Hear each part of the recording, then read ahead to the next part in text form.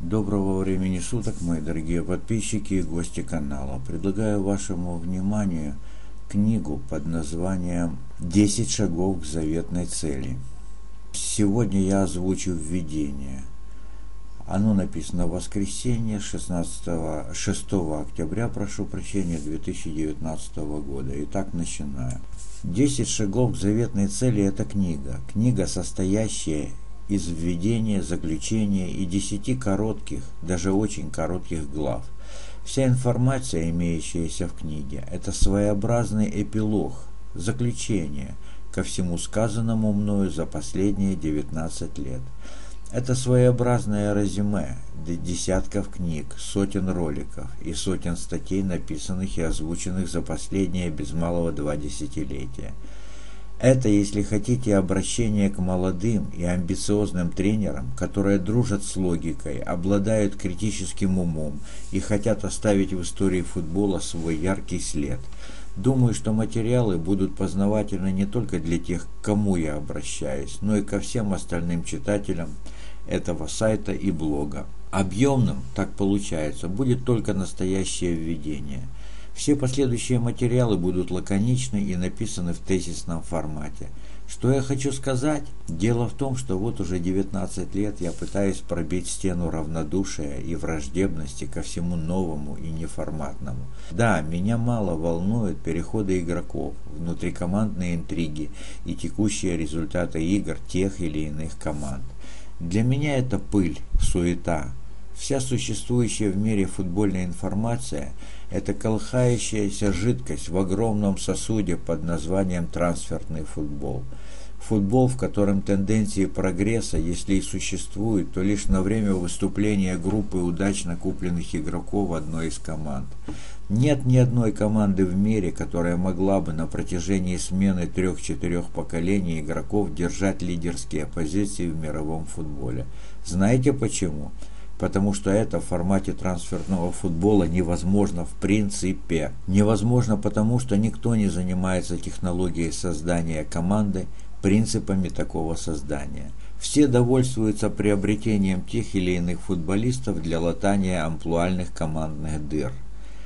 При таком подходе к футболу на первый план выходят деньги, Именно бабасики позволяют приобретать талантливых футболистов, которые поднимают игровые кондиции команды в целом. И эти кондиции напрямую зависят от индивидуальных кондиций этих талантливых ключевых игроков.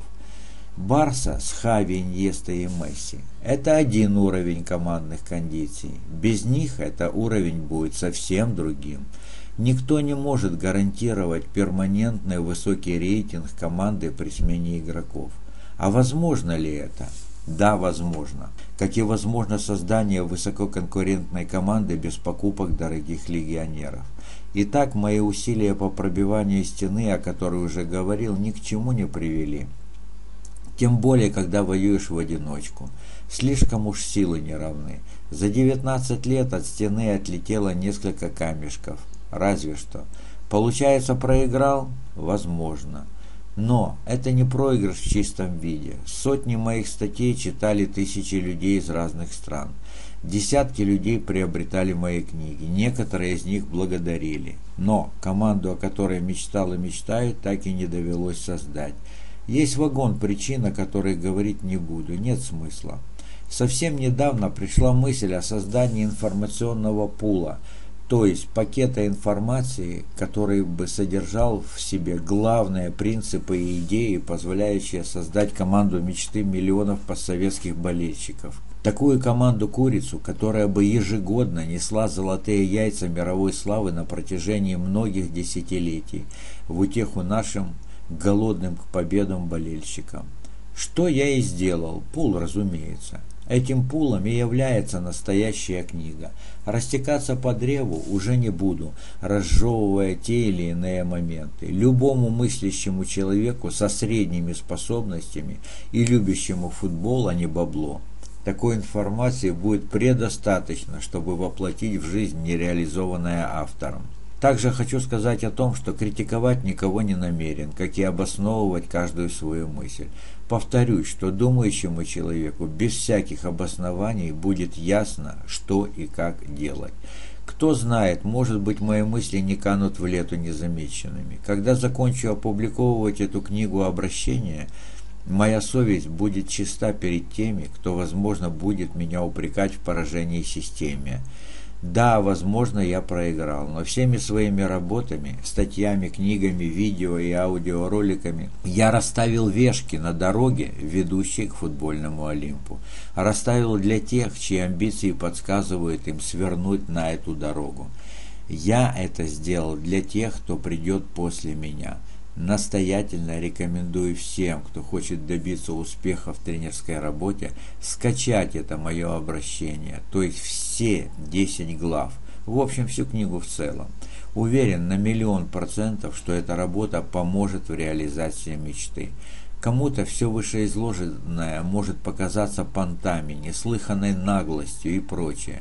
Это право тех, кто так думает. В этом плане могу сказать только одно – Никто, я подчеркиваю, никто не смог опровергнуть ни одной мысли из сказанного мною в формате создания мастер-команды, начиная со специалистов с самыми громкими фамилиями, известными во всем футбольном мире, и заканчивая детскими тренерами. Поэтому считаю себя вправе проявлять уверенность и даже некоторую категоричность. Миллионный раз прошу, господа хорошие, дорогие мои футбольные специалисты самого высокого уровня, низко поклонюсь вам в ноги, если опровергнете хоть что-нибудь. Их реплики типа «Кто ты такой?» или «Мы что, наблюдаем второе пришествие Христа?» или «Болтать не мешки ворочать?» или «Бред!» И подобное высказывание, на которое их авторы имеют полное право, это не опровержение. Что, слишком я мелок для того, чтобы снизойти до моего «бреда» в кавычках и не оставить камня на камне от моих идей? Был бы очень признателен венценосным футбольным спецам за подобную работу. Заодно все бы увидели мою никчемность. В идеале можно было бы организовать круглый стол и транслировать его по основным каналам телевидения всех постсоветских стран. Ну что, слабо? Впрочем, это пустое сотрясание воздуха. Уверен, что желающих не найдется. А между тем выиграл бы постсоветский футбол. Кажется, можно заканчивать вводную часть. Скажу только то, что настоящая работа – это своеобразные шаги на пути к заветной цели. Сколько их будет – Оказалось, что вся необходимая информация для триумфа любой команды укладывается в 10 шагов. И самое последнее. Участвовать в возможном обсуждении написанного мною не буду. Не вижу смысла. Если кого-то всерьез интересует выложенная информация в 10 шагах, пишите на мое мыло. Каждый шаг я буду стараться выкладывать ежедневно. Не хочу тянуть кота за хвост. Итак, начинаю. Да, еще забыл сказать, что все вот эти главы, как и введение, как и заключение, будут размещены в отдельном плейлисте. У меня все. Если ролик вам понравился, ставьте лайки, подписывайтесь на канал. Впереди еще очень много интересного, неожиданного и эксклюзивного.